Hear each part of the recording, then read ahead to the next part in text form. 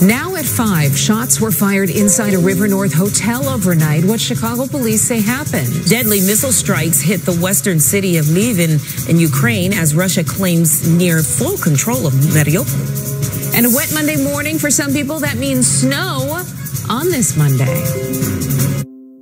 Live from Chicago's number one news, ABC 7 Eyewitness News at 5 starts right now.